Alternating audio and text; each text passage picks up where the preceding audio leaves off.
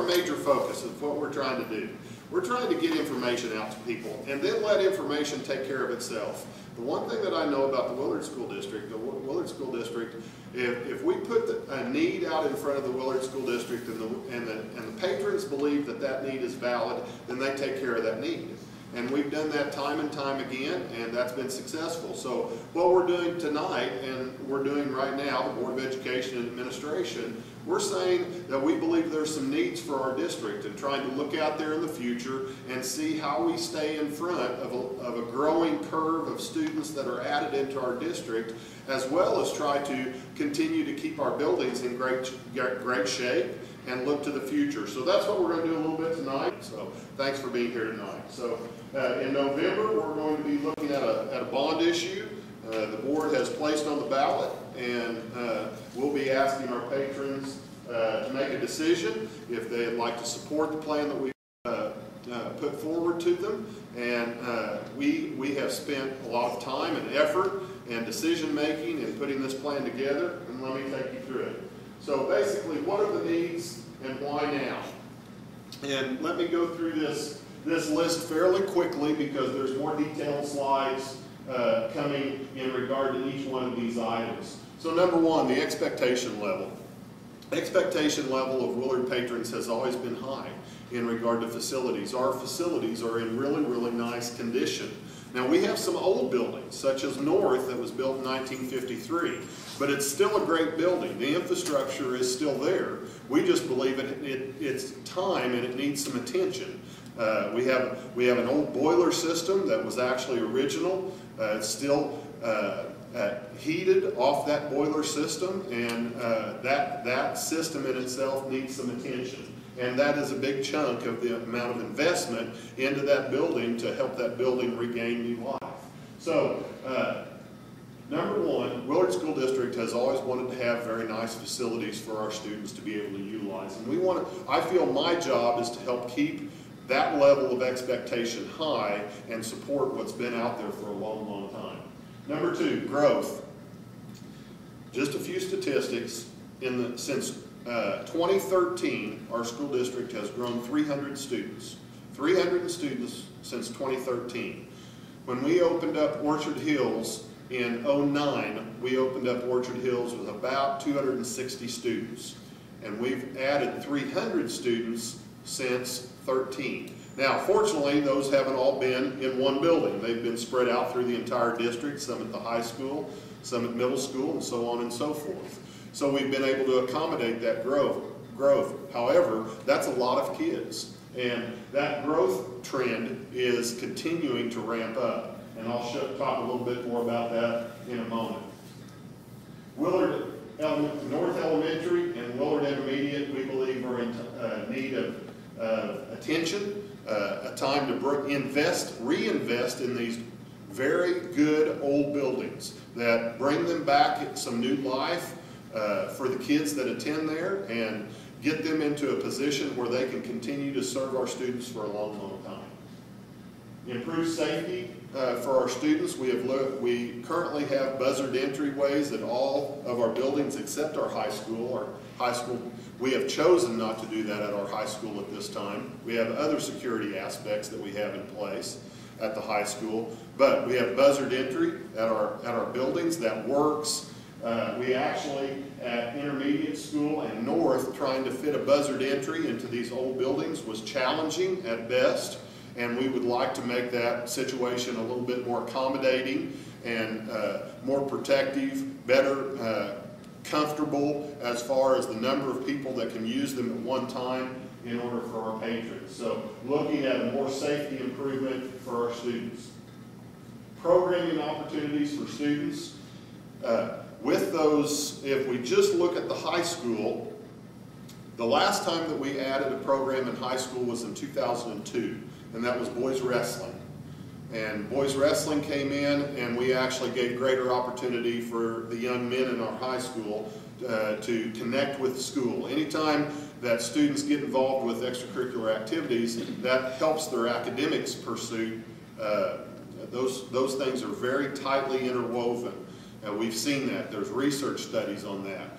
And with the continued growth in our high school, In 2004, our high school uh, was 960, 970 students. Currently, our high school is over 1,300 students. So we've grown close to 400 students in high school uh, since 2002, and we've added no activities. So what we would like to do is add tennis to that, and tennis would provide greater amounts of activity opportunities for students, which would allow them to uh, hook into school and their academics to a greater degree. We think that will be a good program addition. Also, we're looking at, at uh, some upgrades to our football field as far as bringing in a turf uh, field. Our track is in uh, becoming in disrepair. It's it's past its life expectancy. Life expectancy is normally about 10 years. We're well past that now. Uh, we have problems with drainage that, uh, that has been on that old track for a long, long time, and basically the base is beginning to degrade out from under the track, and the edges of the track are degrading off. Uh, actually, some of the lanes are beginning to cup and hold water. It's becoming more and more problematic, and we're told that, that those problems will accelerate over the next years once it's starting to break down. So we need to do something with our track. We've looked into that situation. I'll be talking about track and turf a little bit more independently, specifically in a moment. So, as I said before, high school since 2002, 926 students. Enrollment now, 1,327 students, so 400 students. Okay? Orchard Hills Elementary is quickly approaching capacity. Uh, Orchard Hills currently is at 300 and okay? Uh, 379 students, and uh, we have one classroom that could become available next year by moving a program. Okay, we could have extension of one more classroom. This is our fastest growing building. If we, so the possibility we could move in one more teacher. After that, we're going to have to look at either crowding classrooms or redistricting elementary lines. That's going to be the only option that we have. Now, those two things are possible, but neither one of them are very attractive and, and things that we want to move toward. Again, I'll talk about that more in just a moment. The last thing on this slide, J.E. Dunn is a construction management group that actually we met with them today, continue to meet with them periodically to keep abreast of what these continuing uptick in costs are occurring uh, in regard to construction in the what they have quoted us in the next three quarters, uh, they predict that construction costs will go up, excuse me, 5.5 percent. Okay, 5.5 percent. Why is that? There's three reasons: increased labor costs, increased material costs, and the last one, which is the lion's share of it, is an increased profit. And the reason why that is, is because for the last several years during the recession, there has not, there has been very limited to no profit put into construction projects because construct contractors were basically just trying to keep their doors open. So they cut out their profit margin just to keep their men working on jobs and them working on jobs. So they had very little profit margins. So now they're trying to reinsert profit into that equation because now there's uh, construction is beginning to break loose in our area right now in Springfield. You can tell that by seeing the cranes that are going up around town and the rooftops that are going up around town in the Springfield area. The contractors that are still employed, several, many went out of business. Okay, the ones that are still employed are becoming busier and busier, and that drives up costs also. So, 5.5% in nine months and that's significant. We're in uh, another window of opportunity is what we have at this time before that, uh, that cost continues to accelerate up. Let's take a look at our growth, and here's what I wanted to show during the time of recession, okay? If you look at what our growth was back in uh, this, right after uh, the turn of the century, we were looking at 1.7 and then up to 5 in 06, 5.5, 07, 4.2, 08, 4.8% growth. That was significant growth, okay? That was bringing in lots of kids. One year was over 200 kids into the school district of Willard. And then the recession hit. You can see, right, 2009, the recession hit, and we dropped from 4.8 to 1.8. And then the recession continues to, to lag. We went from 1.8 to 0.8. We got a little boost here to 2. Then we dropped one year in the last decade. We've actually lost students from 4220 down to 4197. We lost three students. And then, as we began to come out of the recession, enrollment begins to build again. So we went from a negative to a positive 0.7. Last year was a 3.1% increase. This year is a 3.9% increase.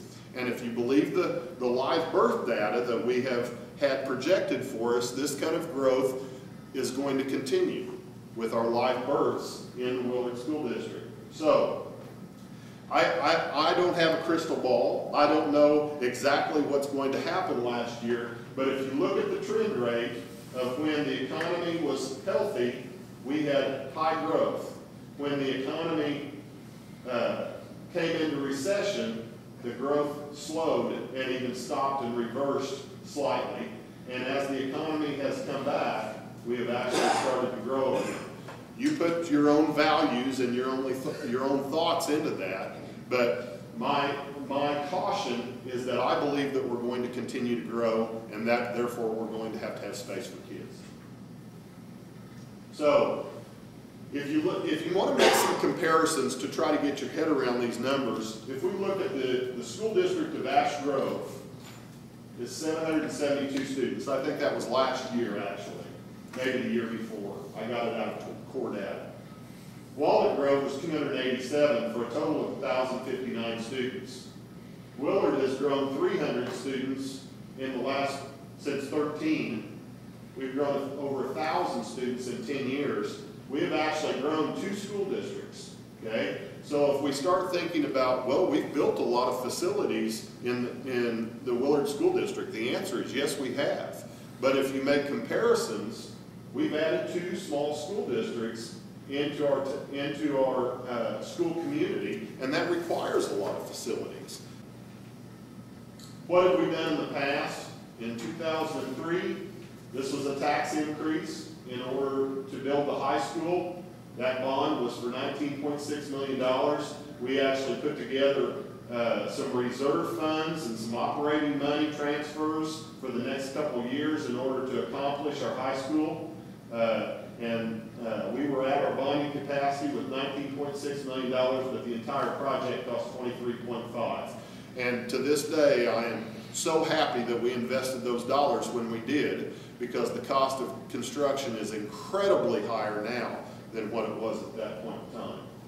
Then in 2007, we uh, went out to bond with a no tax increase uh, issue, but remember, that was when we were having a great deal. That's when, when the economy was good. The assessed valuation of our district was continually growing. We were having double-digit growth in assessed value uh, and, and also very strong uh, enrollment growth also. And then the recession hit right after we built Orchard Hills.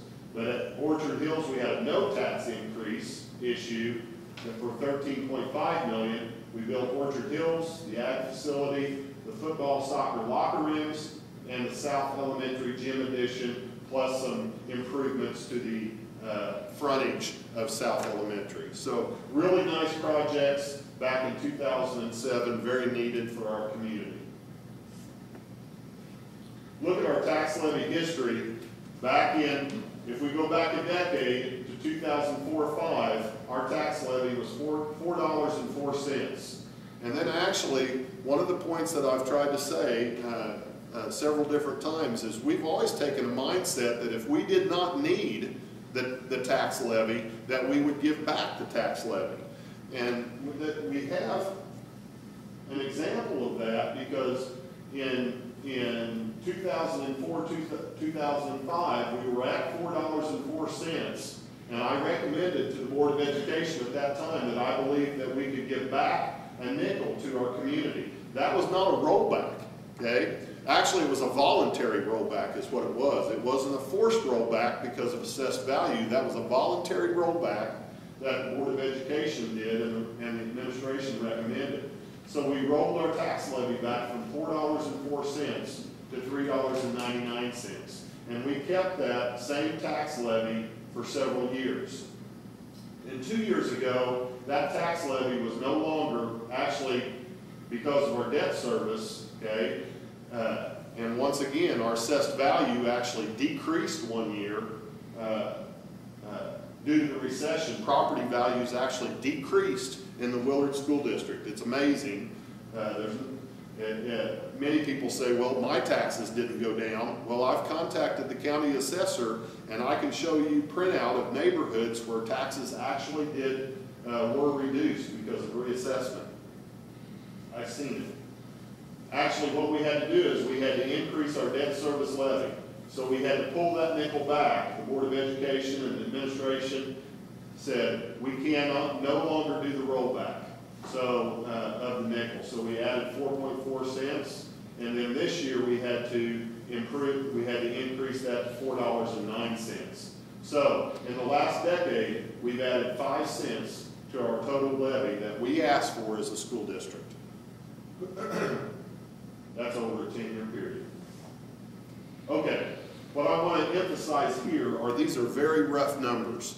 These are not exact, these are estimates by J.E. Dunn. J.E. Dunn, once again, they have a track record. When we interviewed them, uh, they normally come in at 2% plus or minus estimates. So that's what we're hoping for, and we have good faith in their numbers.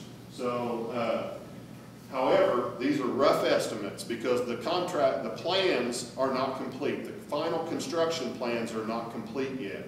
So we're looking at at rough numbers. However, we have contingency that's built into this, so we believe that we'll be within our contingency funds. So, if we look at rough numbers for our intermediate addition, we're looking at a classroom addition, somewhere five to six classrooms uh, for Willard Intermediate School, plus an overhaul of uh, uh, a good portion of the heat and air system, and that equals we're estimating a little over $4 million. For Orchard Hills Elementary, also, if anybody wants this information, it's on our website, correct, Mike? So these numbers you can find on our website. Uh, if you want to write them down, that's great. If not, just go to our website. Orchard Hills Classroom Addition, we're looking at classroom addition of four classrooms plus a learning park or a learning space, which is basically a hallway that's a little bit bigger to bring multiple classrooms in. Uh, for that addition, we're looking at $1.4 million. For the high school multi-purpose facility, and again, I'll talk more detail about these in a moment, $2.8 million. This is a large, tall building, 23, 25 foot uh, basically to allow for uh, co-curricular activities as well as gym classes during the day. Uh, lots of different uses that this building will be utilized for. North Elementary, uh, new heat and air system, plus upgrade to the building entry, library, cafeteria, office, $3.4 million. So a lion's share of the investment of, of our project, four, over $4 million, four and a quarter million for intermediate, 3.4 million for north. So closing on $8 million worth of reinvestment into our current buildings. And we believe that, that reinvestment will pay off for years and years and years. Football facility, track and turf, $1.3 million. And then we're looking at adding the tennis program, an eight-court complex for tennis, which has been estimated at $500,000. And then we have two opportunities for very nice land purchase at $8,000. Actually, one of these pieces of property was in foreclosure, and uh, very, uh, very close to this property. We bought property several years ago for over $20,000 an acre, and we're looking at paying $8,000 an acre to go ahead and purchase this property. We'll have an opportunity for that with this bond revenue. So, very good opportunity uh, for a land purchase. And this land purchase is for future. We're talking ten years down the road when we'll be able to utilize property in the south part of our district or in the town of. Total, put it all together, estimate right now four five million. And we're including up to fifteen point two million for the total bond for some contingency funds. When these bids go out, they're not going to be exact, so we want to be careful and be able to make sure that we get all the projects fully constructed that we have planned. So that's why we're asking the patrons for fifteen point two million dollars. Let's, now let's take them one by one. Intermediate re- renovation, we're talking about, like I said before, classroom addition, five to six classroom addition that would be placed here at the intermediate school. Let me, let me spend just a moment and talk a little bit about some of our early plans. We went out to our patrons a year ago and we started asking them about future bond issues. And we started hearing uh, some conversation that coalesced around the possibility of, of building a new 5-6 on the south side of our district, and we highly considered that. The problem was it became too expensive. If we would add a new intermediate school instead of a renovation into this, it's actually costed out at over, well over $21 million. And we, we don't believe that we can, it would be fiscally sound at this time to go to that, that high level of an expense. So we went back to the drawing board and said, basically, how can we do this? And we, we had the, the option that we had to go one of two directions. If we would have went ahead and built the standalone intermediate school, we could have done one other project, and that couldn't have been as large as North. It would have had to be one of the smaller projects. So we could have built the standalone intermediate school, but we wouldn't have been, been able to build the other projects, one of the smaller ones possibly. So it was gonna be that costly. So what we did is we said, okay, what can we do to our current facility to meet the current needs and the needs for the next five years? And that's where we came up with the possibility of let's, let's, we're already remodeling north. Let's go ahead and finish the remodel in the, in the entire complex of north and intermediate. And then five years down the road, something like that, we can bring back into the picture a possibility of, of uh, a second five-six in the south part of our district. And then recapture some of the space that is here uh, that can be utilized for many different purposes. It could be utilized, hopefully in the future, preschool could possibly be funded at the state. That's an idea that's been thrown out there for years. If that's the case, then we're going to need facilities for four-year-olds. There's, there's many different possibilities. With our growth, there will be uh, uh, ways to fill these spaces that would be left here at the intermediate school. We want to increase the flow, uh, utilizing our classrooms and our hallways. Uh, The flow uh, in this building is not optimal. It's not terrible, but it's not optimal. And we would like to increase that flow and how kids move from one part of this building to another. We'd like to look at upgrading our office space and how that works. Uh, uh, Also, uh, from the front, how, how we look at entering the building, how we can improve not only the look of that, but the safety features that go along with, with our frontage and how people come into our building. So that's important to us also. Oh, the last one was security access. Let's go to our Orchard Hills edition. We're looking at a four classroom addition plus the learning park. Again, that's, a learning park is a hallway that's just a little bit wider and allows for collaboration space uh, for multiple classrooms. Population in 0910 was 268 students. The current population is, when I did this, was 369, which it's been, I don't know, but that's not today, that was some weeks ago. Uh, Current population, 369. So over 100 students since we opened Orchard Hills in '09.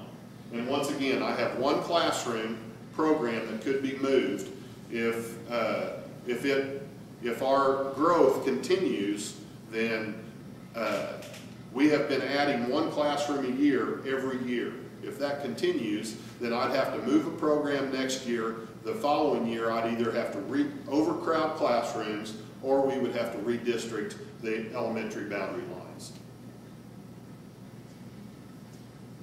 We believe that this addition would last somewhere into the four to five year range. Like I said, we're adding one classroom a year. Without this addition, as I said, we would have to look at a redistricting. Here's a sample mock-up. Uh, we're, we're actually pretty far into the drawings of Orchard Hills. Uh, uh, Mr. Graves, as well as the architects, have been working with leadership team over at uh, Orchard Hills Elementary and have come up with this concept. Actually, the, the uh, addition is on the south end of the building.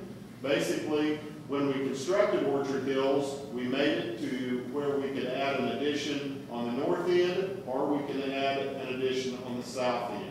We've chosen the south end, and the reason why is because the city limits of Springfield are right here. And if we build, if we encroach the construction in close to the city limits of Springfield, they have already told us that they're going to force us to build a road up here uh, on the north side of our property to join the community over here to Miller Road. So that would be extremely costly. And when we come back at a future point and have to look at an addition here, we're going to have to be very careful not to encroach on that city limit of Springfield. So we're looking at a classroom addition that will be on the south side of the building. You can see, here's what I'm calling Learning Park here. It's a hallway, basically it's an extension of a hallway that's about twice as large. And what it does, it allows multiple classrooms to come out together. And it's a feature that we saw down in Joplin and actually in other buildings uh, in the Kansas City area. And the teachers share uh, some really nice uh, uh, uh, opinions and reviews on what this learning park is providing opportunity-wise for the classrooms. Not only that, but they could actually keep their classroom here, and we're actually looking at some movement that can come between classrooms. We're starting to look at team teaching uh, in multiple buildings where two teachers are working with the same group of kids. So we're looking at providing some nice flow between classrooms through double doors that would occur between classrooms. So lots of different opportunities for kids and the type of instruction that occurs. High school multipurpose facility. Very large, open facility. We're talking concrete floor, concrete walls, uh, uh, 100 by 150, that's an approximate size that we're looking. 23 to 25 foot sidewalls. Basically, this would allow uh, why the high sidewalls? Uh, two of our major extracurricular activities, co-curricular activities, which are ROTC and band, color guard. Basically, we look at um, uh, drills that include uh, twirling and throwing rifles as well as flags. And we're, we're needing that extra added height in order to allow them to fully implement their drills uh, at school. Problems uh, the competing gym space that we now have over at the high school has caused problems with the number of groups competing for that gym space and the dropping of the flags and the rifles have at times damaged our, our wood gym floors. So they've actually cracked boards. We've actually had multiple times that we've had to call in a floor company to have boards replaced because of cracks, uh, because of the drops. So we've had to basically require that they are not on our wood gym floors anymore, which has pushed them to the mezzanine, uh, which is an area of concrete floor. So they only have limited practice areas in the high school now. So this is going to open this back up for them, uh, another opportunity to be inside and out of the weather. So two, three groups that will, will benefit greatly, extracurricular, co-curricular groups, uh, plus PE during the day that will uh, also be there to overflow from our current gym. Gyms, excuse me. One of the things that we're talking about, as we've added once onto our high school facility, we added eight classrooms onto our high school main campus facility. Uh, what we're looking at is future op options for building. So when we build this, we're looking at possibly a time where we could move the ROTC and band classrooms out to this multi-purpose facility, connect them to this multiple uh, multi-purpose facility so they could just flow between their classroom and this, this open space uh, at ease. They don't have to walk across the parking lot. They don't have to carry their instruments. They can just go straight to the facility uh, uh, during the day, during first and second hour, as of right now, that they actually have those classes. ROTC has classes throughout the day, and they'll be spending a great deal of time out of this facility. But possible uh, movement of classes out to this facility in the future that then we could recapture square footage in the main campus uh, that could be turned into other classroom space. Here's some possible mock-up drawings that we have. Basically, if you'll look right here, this is our ag facility. Here's our major campus. We're looking at immediately to the west of our ag facility. Basically, what we're starting to look at is, here's our main academic campus, and we're starting to look into this plan of uh, extracurricular, co-curricular activity area, which would be something like this. So we have co-curricular, which would be band, ROTC. Uh, we have agriculture here, and then we get it uh, over into our extracurricular athletic areas over here. So we're looking at a, uh, a design, basically, uh, that would allow an academic uh, area for campus plus extracurricular areas of campus. You can see some possible future design. Here's our, if we have this as our multi-purpose building, this would be a small lobby that would be built onto it, opening, and then this could be possible classrooms that would be in the future.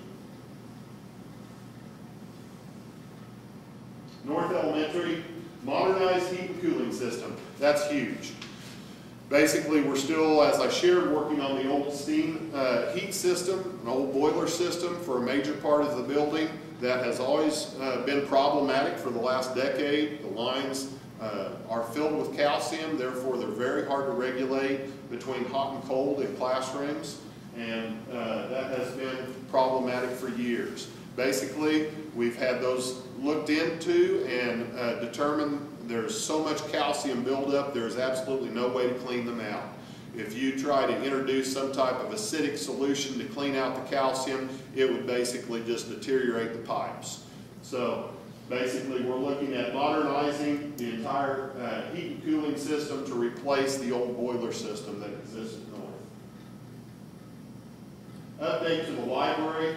The library at North is, uh, one, I love this library. This is my favorite library in the entire district. I love the wood, I love the, the high ceilings. There's so many nice features to it. Uh, the, the library at North, as far as being functional for, for kids, Mrs. Mann works extremely hard to make it a nice, comfortable place for kids. But there's some updating that needs to be happening to that library. Uh, some uh, and, and, part of the funds that will be utilized for North will go to modernize and help give that library a facelift and, and a place that would be more inviting for kids. Building entry, we're looking at a vestibule that would help uh, provide greater security. If you're familiar with our Orchard Hills uh, building, there's a nice sized vestibule there that parents can actually wait in and they don't uh, uh, before they actually go into the main part of the building, very secure access. We're looking at something that would move in that direction. Update to the cafeteria. Our cafeteria has not had a great deal of attention since uh, the building was constructed in 53. Lots of paint is what it had, lots of layers of paint. So we want to do something more than that. Uh, we actually want to create somewhat of a commons uh, concept to the entryway, and that would include some renovation in our uh, cafeteria. And then we believe that, that if we do some acoustical treatment and some renovation to that cafeteria, we can actually even utilize part of that space for breakout spaces during the day. One of the things that we're learning that kids like to move. If you trap kids into a classroom all day long, then they become tired and their brains become tired.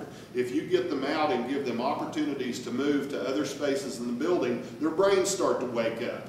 We actually, over at East, I just uh, uh, invested about $15,000 and we built a nice little learning park at the end of the, the hallway uh, by investing in some, some uh, metal studs and sheetrock and, and some ceiling tile, furniture, carpet, uh, a little bit of technology and paint and uh, made it accessible for kids during the day. And kids are just having a ball with it. Teachers are taking kids down to this area and they just act differently when they get there. It's amazing. You need to come and see it. I'm, really proud of it. And we hope that those kind of things can happen uh, in this commons type concept uh, besides just being a cafeteria. Update to the office area, as I've said in the past, we have a very small office area. It actually inhibits the security uh, control because when you are buzzed into uh, North Elementary, you go straight into a hallway. You don't go into an office and then into a hallway, you go straight into an all hallway, and we would like to change that. We'd like to bring also, uh, the counselor is down in one part of the building and the office, the principal is in another part of the building, and we would like to bring those people together so that they can collaborate also. Improved security, we've talked about. Here's a mock-up. Okay, there's a, just a little over a thousand square feet of new construction. That is the corner where the entryway is into North. So it is not a huge investment into new construction. Thousand square feet. And if you're looking at it, you're looking at that triangle right there. The major reconstruction is in the building itself, the heat and the air. Here's the library.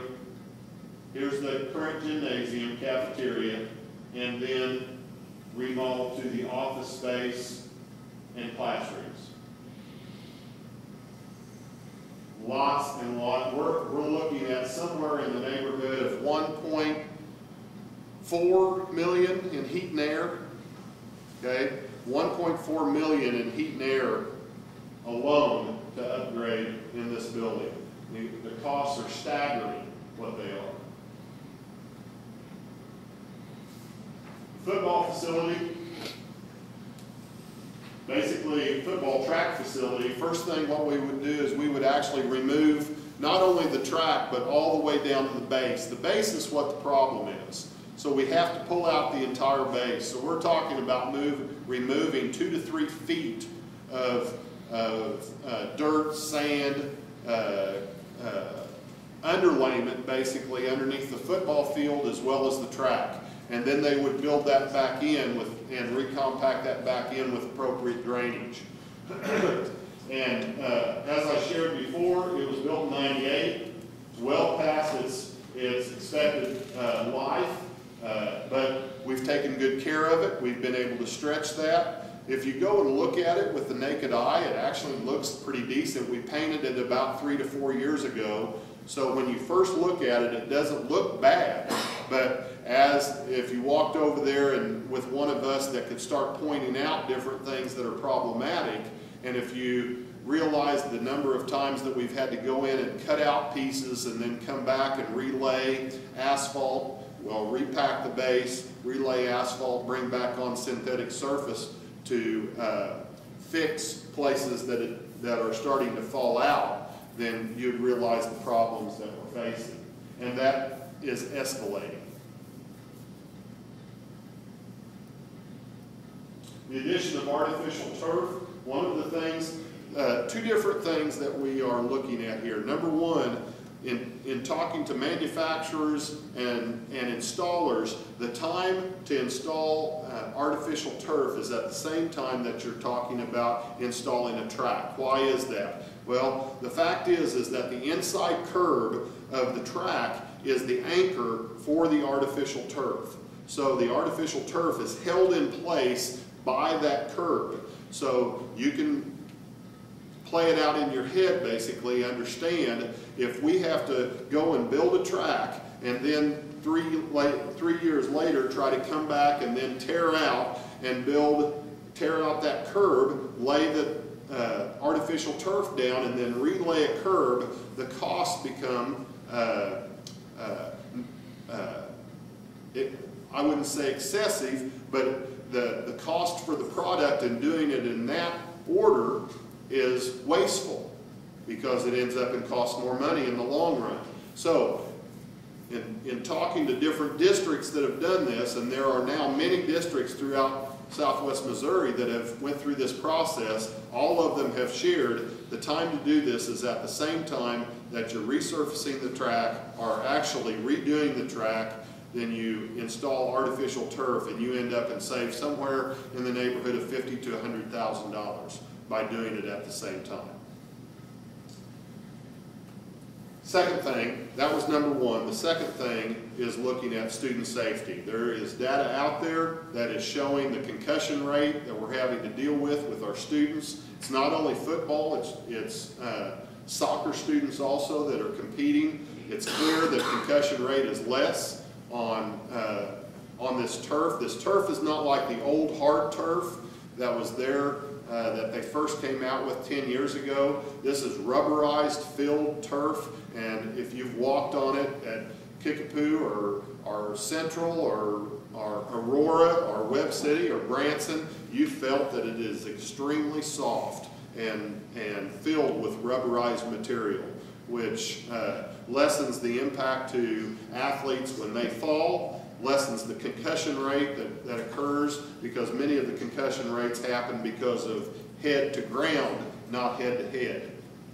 So that's something that we hope. The third thing, and, and that goes along with that, is our grass surface. We have multiple groups now, football teams that are practicing, not practicing, playing, competing on our football field. Seventh grade football, eighth grade football, ninth grade football, junior varsity football, varsity football, youth football league all Saturday, and uh, we normally allow the homeschool students to compete one time on our football field also. It's overused.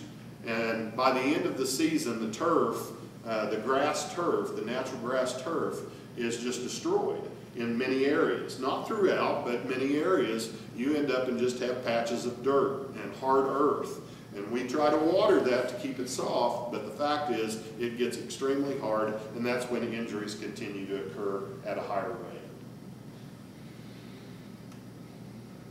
Addition of a new track, we've spoken about that. Here's some possible mock-ups. these are just possibilities. Once again, these are not finalized in any way or shape, shape or fashion. But possibility of what it would look like. Overhead, Again, we're still looking at that. Here's a possibility for tennis. We haven't talked about tennis yet. And a possible location. And you can see here's our ag building. Here's our main campus. East is back over here. Our football field, and this would be tennis. We'd be able to share parking with the football uh, and soccer locker rooms uh, possibly expand this gravel parking lot a little bit. Hopefully in the future come back and pave that. But uh, we would have some parking that could be shared for those facilities. Tennis. Uh, uh, as far as tennis goes, we've talked about opportunity for students. We think that it's a sport for not only boy, uh, boys and girls both, which is very good. So actually what the use is doubled by, by having two sports that are added with the facility use. The year-to-year -year cost for tennis is not high. Uh, the cost of transportation and the cost of a uh, coaching stipend and a little bit of equipment uh, uh, uh, is not significant. It's not a high-cost sport. except for the original investment.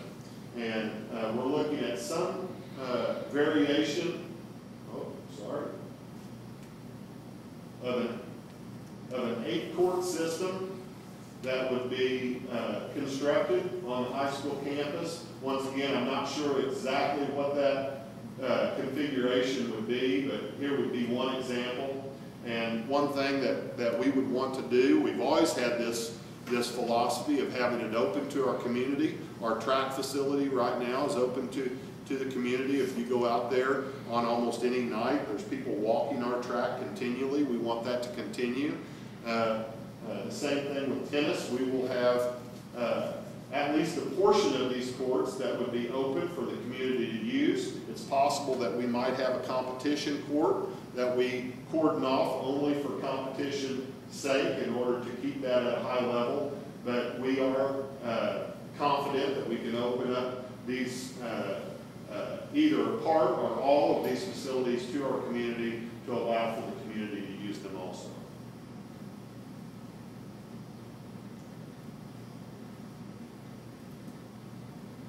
Student interest is, is high. We actually did a survey a few years ago to see how much interest. We had somewhere in the neighborhood of 70 to 80, 70 to 80 students that said at that time that they would be uh, interested in coming out for tennis at that time. Uh, uh, whether those numbers would happen in the first year, I don't know. If you look at our sister schools, uh, throughout the Central Ozark Conference. Every other school district in the Central Ozark Conference, large and small uh, schools, some of these districts are half the size of Willard. Every one of them have tennis, and every one of them have enough participants to support tennis. So I believe that the participants will, will occur here also. The opportunity, when the opportunity is given, I believe the students will come. Once again, I shared since 2002, 400 students have been added to the high school, and uh, since that time, there have been no new added uh, opportunities uh, uh for uh, athletic opportunities for our students. We talked about where it would be located. We talked that it would be open to the community. Six to eight regulation courts. We want to have lights. Uh, I, I can't tell you that every one of them will be lighted. That decision hasn't been made yet, but at least a portion of them would be lighted uh, for co competition at night, and will be constructed on the high school campus. We are looking at that corner. That has not been finalized. Let's talk about the costs. That's something that, that patrons always want to be aware of. So let's look at where we're at now. Right now, the levies for us as well as our peer schools, we always compare ourselves to these schools. We think we're very similar to these school districts in areas of demographics, in, uh, in areas of size, uh, quality uh, of school. These are very high quality schools uh, throughout southwest Missouri. And if you look at this time, the total, the, the levies between these districts, Willard and Branson, have the lowest two levies of all of our sister schools that we consider peers. Okay? We're at $4.09. Branson is $4.09. And I'll tell you folks, if, uh, if you think that between Willard and Branson the economies of scale are the same, the amount of money that is in the Branson School District is very different than the amount of money that is in the, in the Willard School District. And we have been able to keep our tax levy identical to Branson. Nixa is at 431, Ozark's at 414, Republic's at 428. If we add 15 cents, which is what we're proposing on the ballot, it would move our debt service up to $1.08 and would move our, our total levy to 424. At 424, we would then move into the middle of the pack. We would be above Branson, we would be above Ozark, we would be below Republic and below Nixa. And we believe that 424 would continue to service the debt throughout uh, uh, its future. So it is a tax levy increase. That's something that I want to be very clear about. I want to be very honest about.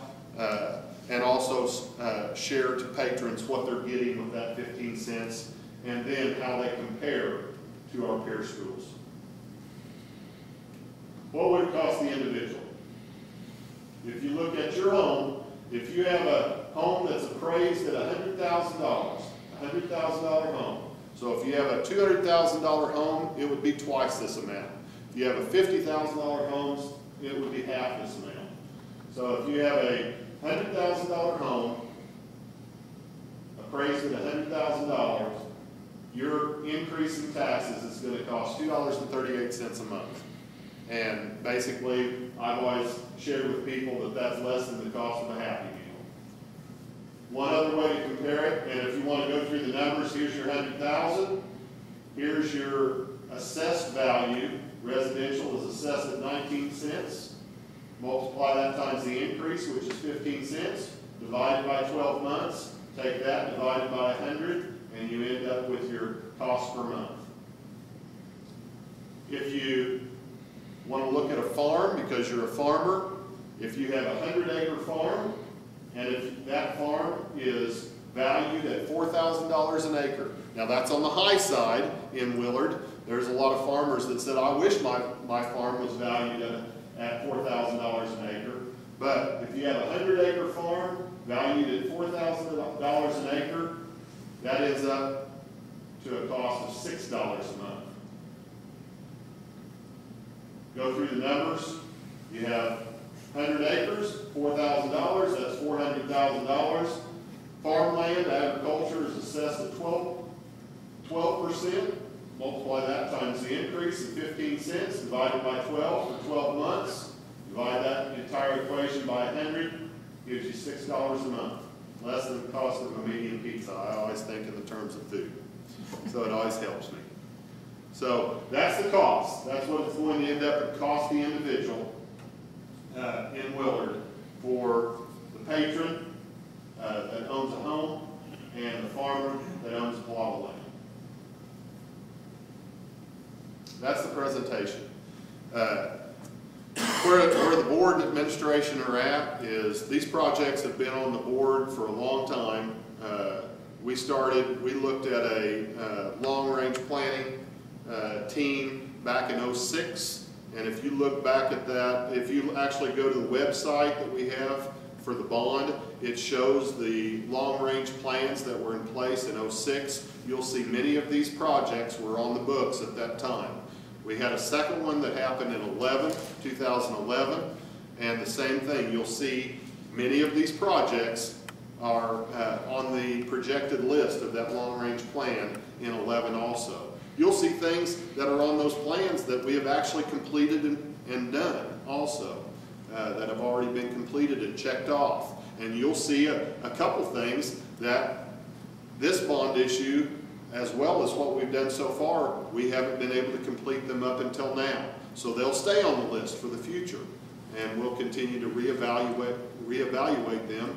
And as they rise in priority, then we'll try to figure out ways in order to accommodate those also. But we believe it's a good plan. We believe it's something that we want to put in front of patrons, and uh, we'll see if we uh, get the support in November. So, questions?